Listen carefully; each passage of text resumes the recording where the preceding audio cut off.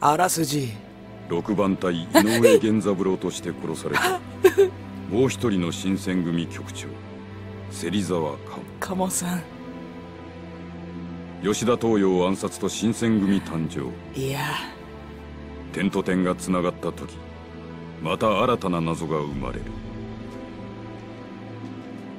1年前芹沢に東洋暗殺を依頼した黒幕は坂本龍馬を名乗ったというのだ。やがて二人の坂本龍馬が寺田屋で重なり合うと今日の町はさらなる混沌に包まれていく。裏切りと策略不信と絶望。もう一人の坂本龍馬。その正体は土佐で死んだはずの竹地半平太なのだろうか。対決の時は確実に近づいている。源さんの声を聞くたびに胸が高鳴る。第11章。大博打。どうも山上です。第11章。入っていきましょう。大博打。何が始まるんだ。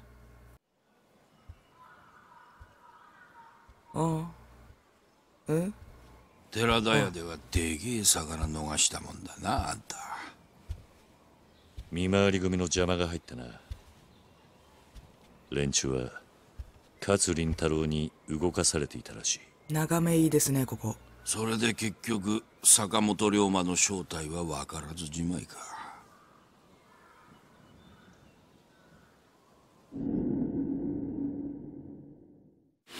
うん。なああいつは何をしにまた今日に舞い戻ってきたと思う？さあなあんたは知っているのか？そいつを教えるためにあんたをここへ呼んだんだ。それにいよいよ時間がなくなってきたことも承知しといてもらいてえと思ってよ。時間？何のだ？この日本って国が自滅するまでの時間だよ。何？坂本龍馬が国中を巻き込んだ倒幕戦争の引き金を引きにこの京に来てるんだよ。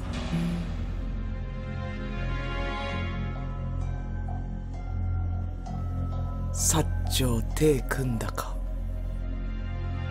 坂本龍馬は今までずっと倒幕戦争を引き起こすために動いてきた。その下準備が整ったらしい。どういうことだ？何かあったのか？ねえ。薩摩の西郷と長州の桂が手を結んだ。バラバラだった勤王の二大勢力が倒幕に向けて秘密同盟を組んだんだ。つまり薩長同盟だよ。薩長同盟？あんたがほぼ結ばせそいつをたようなもんだ仲けどね。立ちしたのも坂本龍馬って男らしい。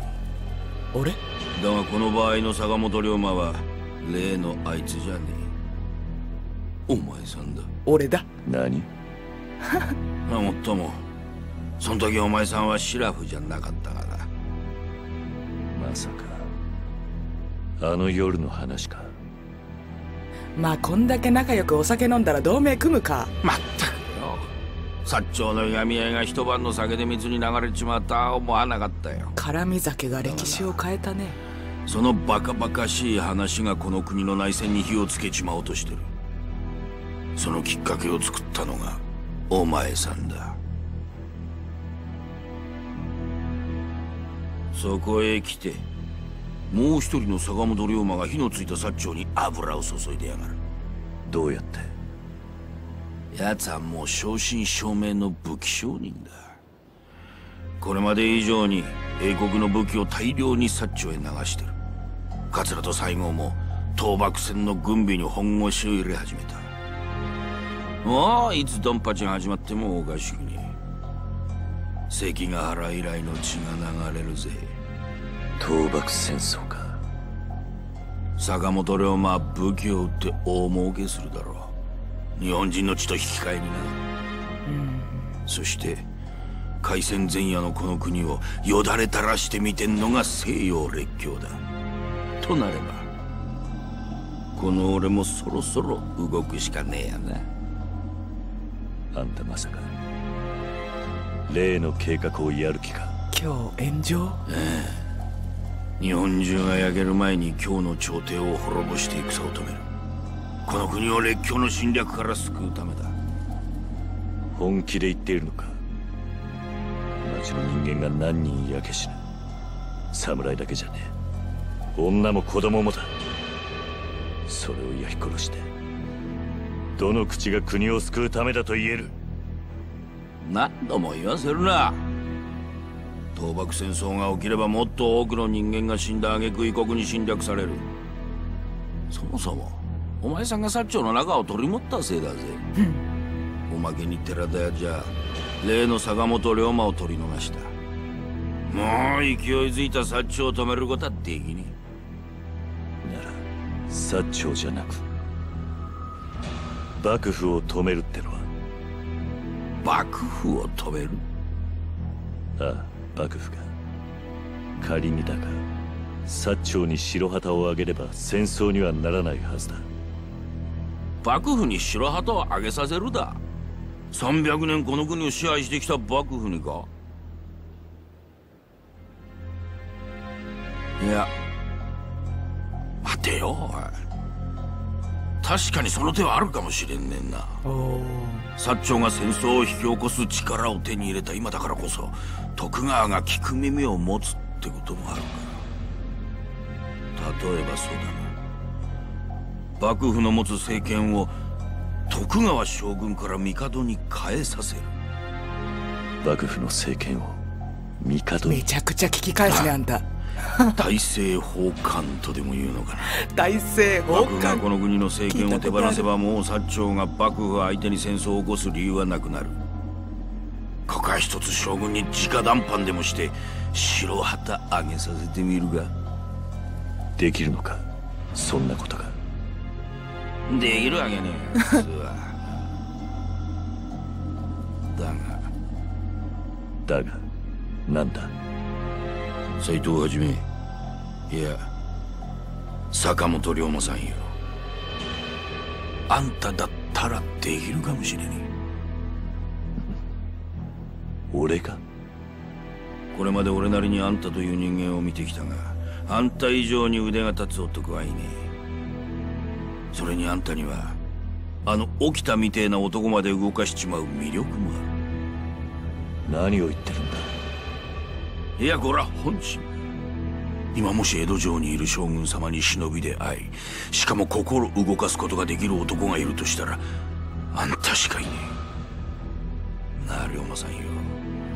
ここは一つ。日本のために死ぬ覚悟で江戸に行ってきちゃもらえねえか。俺が江戸に。江戸に？江戸城には夜にでも何とか忍び込むんだもちろん見つかりゃ殺される。生きて帰るのは不可能に近い。だが将軍に大政奉還を直訴するとなるともうそれしかね将軍の寝床に忍び込むってことか。え言い出しっぺはお前さんだぜ。それにもしこの大政奉還を徳川が飲めばもう一人の坂本龍馬も必ず何か反応を見せる。どういうことだ向こうは薩長は派手に引き込んで戦争の準備をさせてるんだ。だが戦争ってのは準備だけでも相当の金がかかる。その邪魔をされたとなりゃ例の坂本龍馬黙っちゃいねえ。必ず何か動きを見せるはずだ。ま無理にとは言わねえよ。その時は計画通りに俺が今日を焼くだけだ。ただしあんたがもう一人の坂本龍馬を捕らえる機会はなくなるぜ。俺は前にも江戸に行ったが城には登ったことがねえ。ちょうど一度中に入ってみてえと思ってた。おいおい。いいんだな。かっけ生きて帰ってくるだけでも奇跡なんだぜ。ああ。覚悟の上で言っている上出来だ。だがまず新選組の幹部が一人で今日出たとなりゃ人目を引く。江戸へ行くなら一晩待って夜明け前に立て。今日のところはいつも通り豚書に顔を出しておくんだな。鈍書か。そうだな。ちょうど話を聞きたい相手もいる。ん？山崎。観察の山崎進に例の坂本龍馬の息がかかっているらしい。なるほど。だがそいつは一足遅かったぜ。え？何がだ？死んだ？山崎は昨べ豚書にある土蔵の中で殺されてた。何だと？お前さんが山崎の正体を知ったことで口を塞がれたってことか。もう一人の坂本龍馬の手の者にな山崎死んじゃったか。そうか。うわ手がかりだと思ったんだけどな。江戸城へ将軍に直訴か。ふ、我ながら無茶な話だな。全くですよ。江戸城入ったことないでしょ。絶対道迷うじゃん。道迷うどころじゃないよね。入れないよね。しかし山崎が口を塞がれたとは、まずは新選組の豚書に行ってみるか。豚書の中の土蔵で殺されていた。新選組？え？ちょ、ちょっと警備ガバガバすぎない？坂本龍羅の手の者が山崎を殺したんだとしたら、ちょっと警備ガバガバだよって言っときな。いや、豚書向かいますか？どうしますか？向かいますか？そうですね。豚書向かう前に、絆がまだ残っている人がいるので、それをあげちゃってから行くかな。喧嘩はいい、喧嘩はいい。じゃ、絆物語動画外でちょいちょい上げてたんですけど、腹ペコ力士そろそろ、絆マックスになりそうだね。あいや、お侍丼でねえか、ごっつぁんです。その様子だと、前の試合も勝ったみたいだな。あ あ、もちろん勝てたっぺよ。今はほら、なんと大関にまでなっちまっただ。最初に会った時と比べたら大躍進だな。お前、本当に強かったんだな。食べ物をあげると出世していくタイプなんだよな、お前は。ええ今までは信じてくれてなかっただか？ふ、冗談だ。今までよく頑張ったな。ありがとうな。お侍丼がいなかったら、オラ多分とっくの昔に田舎に帰っちまってるだよ。しかし、お前ももう大関か。ん？ということは、つまり、次横綱？んだ。オラ、もう少しで、相撲界の頂点、横綱に手が届くんだ。横綱か。オラが横綱になれるかどうか、次の試合で全てが決まるんだ。今回ばかりは、オラが本来の力を出せても勝てるかどうかわからねえ。お侍どん、オラ、怖くなってきちまっただ。オラ、どうすればいいかな腹いっぱい、食えばいい。へえ？お前がそんな風に弱気になってる時は、大方腹でも減ってるんだろう。そ、そんなことを。グー。食べ物あげるか。あ？こいつでも食って元気を出せ。横綱になってこい。何を渡そうか。うーん、手料理あげちゃうか。あー、カステーラあげよう。ほら。こ、これは。こんなうまそうなものありがとうな。あんただと思って大切に食うだよ。俺と思わなくていい。あ、ああ。お前ならできる。そう信じてるぜ。お侍どん、おら頑張るだよ。またこの場所で結果報告すっからよ。楽しみにしててくれよ。横綱になりますね。やっとだ。息子の成長を見てるようでしたよ。ふんふんふん。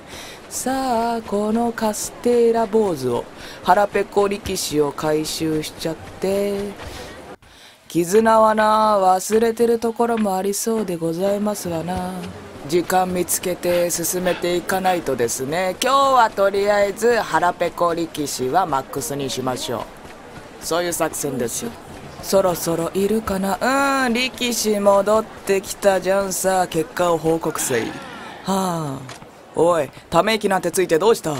あ、お侍どん、ごっつぁんです。横綱への昇級がかかった試合どうだったんだ？ダメだったのか？そうか。若いんだから次があるさ。いや、そんなに落ち込むことはないだろう。こんな短期間で序の口から大関にまでなれたんだぞ。誰にでもできることじゃない。立派なことだ。今回は残念だったが、諦めなければいつか、いつかきっと横綱になれるさ。え？あ、ああ、横綱にはなっただよ。え？横綱だ？いや、今お前、横綱なのか だ。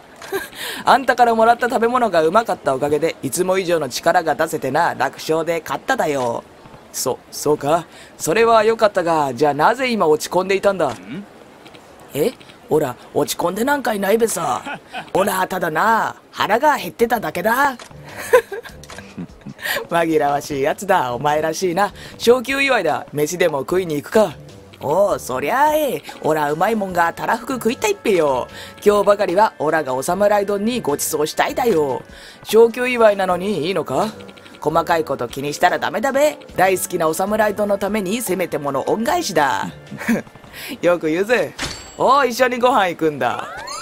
だこの時代の横綱なんてもうヒーローでしょスーパースター高級鳥でしょそりゃおごってもらわねばならんよねよし絆回収です。よーし豚書いっちゃいますか。山崎の亡骸に手ぐらい合わせてやります。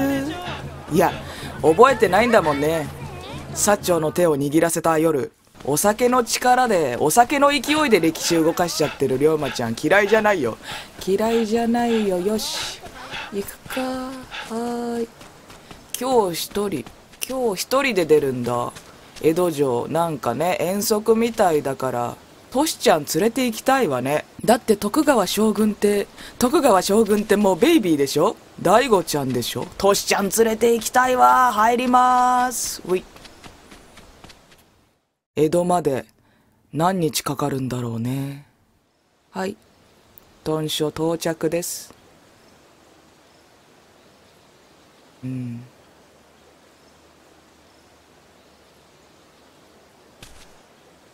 佐之助斎藤か。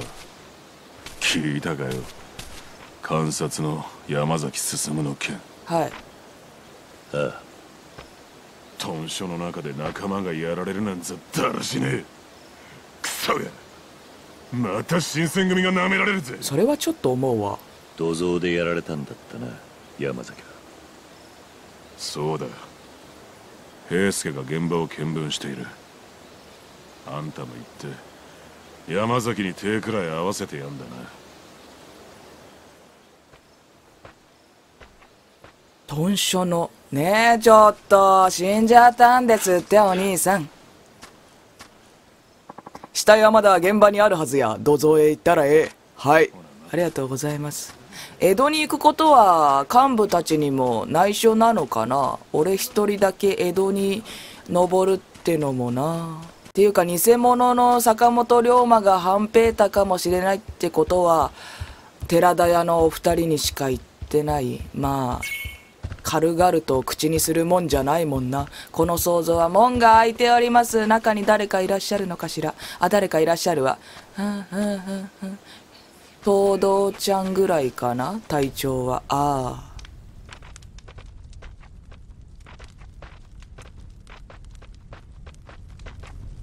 今の死体が山崎です。背中から心臓を一突きでしたよ。昨日の夜中気配を殺して山崎の背後に忍び寄ってってとこですか。平太子の仕業じゃないな。山崎ほどの男の背後を取れるやつ。もしくは山崎が気を許せる誰か。それじゃあ犯人はタイの幹部の誰かってことかええまあ。そういやゆうべ斎藤さんは何してました？アリバイですか。寺田屋に泊まっていた。そうか。それじゃあ斎藤さんは犯人じゃないのかな？組の幹部が容疑者ならお前が犯人ってことも考えられるな。ああなるほど。そういやそうですね 気がつきませんでしたよ怖えよ東堂ちゃんえ？ー、だって偽の坂本龍馬とつながっていることがさえー、えー、えー、えー、えええ例の坂本龍馬の患者は体調核のうちの誰かってことか坂本龍馬とつながっているのは山崎だけじゃなかったってことそういうこと心臓を一月なんてやり方もトシちゃんじゃないトシちゃんにしよう。だが今は江戸城が先だ。寺田屋に戻って夜明けを待つか。あーん、寺田屋に戻ればいいのかな？ねえ、東堂、ねえ、東堂。東堂、東堂。顔と声可愛いのに言ってるセリフがマジで怖いんだよな、東堂ちゃん。背後からとはいえ山崎ほどの手だれを殺せるやつ。一体誰なんだ？うーん名探偵ごっこ改正が出るね。よし。そっか。うん。何やってんだ？土下座してるがな。すいません。何があった？まったくどんくさいやつだな。片付けもろくにできないのかよ。ああ散らばってる。なるほどね。木刀を片付けようとしたら転んじゃったドジっ子なのかな。面白い。こんなこともあるんですね。はい。あ何？トシちゃん。斎藤君少し話せるか？うん話せる。なんだ？君に聞くのもなんだが近藤さんはどうしている？何？会ってないの？とぼけなくてもいい君が近藤さんと会っていることは分かっている。会って何を話しているんだ？局長に直接聞いてくれ。最近のあの人は秘密が多いようでね。例えば君は薩長が秘密同盟を組んだって噂を知っているか？うん。さあな。うん。俺には関係ねえ話だ。だが近藤さんは知っているはずだ。そしてそれを黙って見ている人じゃない。あの人は私と違って国士だからな。国士？天下国家のために自分が何をできるかいつも考えている人間だよ。その近藤さんにとって薩長同盟なんてのは潰す以外に選択肢のねえ代物だ。なのになぜ何も動き出さないのかと思ってな。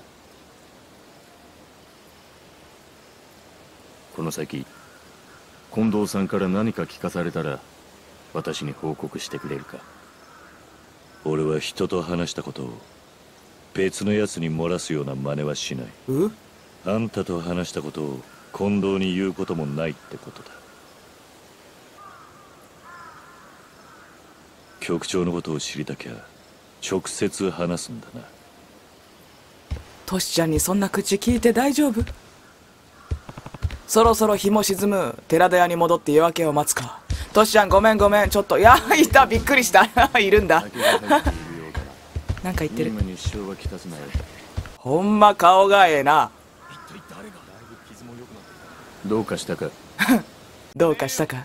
江戸城に君を連れてってあげたいな。あげたいな。あ慶喜に会わせてあげたいな。な。あトシちゃんは近藤さんと会ってないんだねトシちゃんと近藤さんの考えはちょっと違うのか？国士である近藤さんと。トシちゃんは何のために働いているんだろう？何のために生まれて何をして喜ぶんだろう？喜ばせたい。トシちゃんの笑顔が見たい。なんつって。あそこで佇んでるのは貫入祭。井上の次は 井上の次は山崎。また例の坂本龍馬が絡んどるんちゃうか？そやオンドレ高でしゃばって取り逃したあいつや。すいませんでした。嫌われちゃったな。もう部屋に誘ってくれないんだ。うーん。うーんいないのか。寺田屋に戻るしかなさげですかね。なんか武田が喋ってますね。どっか行けや。なんや。どっか行けや。はーい。豚書の中はこんな感じでいいのかな。いいっぽいかな。よしとりあえず豚書出ようか。はい。ん？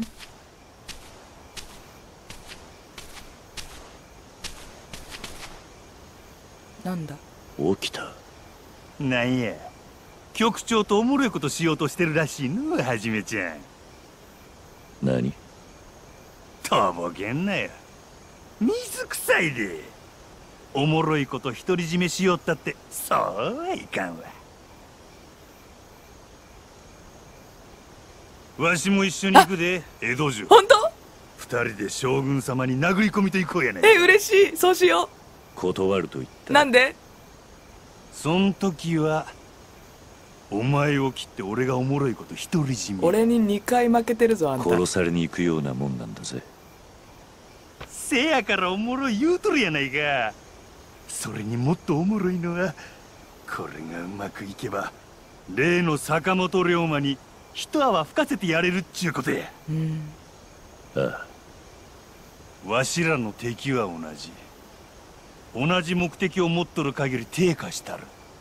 一番隊の隊長タダで使えるっちゅうことやで。分かった。だが出発は夜明けだ。目立たねえようにする必要がある。なるほど。ほな。今夜が今日の最後の夜になるかもしれんっちゅうわけやな。お互い夜明けまでお楽しみっちゅうわけや江戸城の将軍の寝床に押し込むんだ。人生最後の夜遊びかもしれね上等や新選組で溜め込んだ金一晩で使ったるで。せやけどお前は寺田屋に別れの挨拶する女がおるんとちゃうか。あそこの女将豊島の割にえらい色気があるさかいな。落とせ？えいやそっちじゃね。え？やっぱパック見れとあ？えなんでもねえよ。そしたら夜明けわしも寺田屋に行く。それまではじめちゃんもせいぜい楽しんどけや。